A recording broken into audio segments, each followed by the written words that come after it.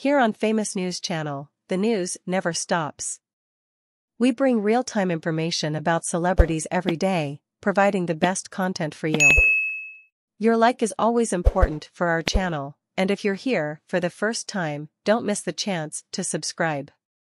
And if you're already subscribed, make sure you've turned on notifications so you don't miss any new videos from the channel. Now, let us update you with this information. In the latest episode of Sharon Stone's confessional tour, the actress revealed that she was deceived in her groundbreaking film, Basic Instinct. Speaking at the New York Women in Film and Television's Muse Awards luncheon, Stone revealed that she only made $500,000 for the 1992 sexual thriller, while her co-star Michael Douglas made $14 million. In other words, Sharon only received 3.6% of Douglas's salary, but as she says, now, I was young. I was young and he was a big star, she explained to the crowd, mainly composed of female filmmakers and TV executives.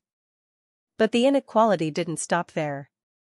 Stone also recounted how she was disrespected by a line producer on the Paul Verhoeven directed project, who always referred to her as Karen throughout the shoot. The humiliation didn't end when the film was over. Even at the governor's ball, after the Oscars, the producer still called her Karen.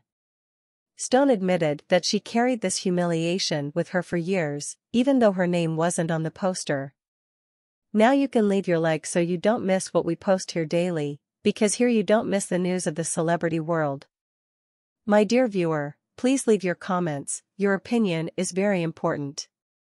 Stay tuned, we always have news in the first place.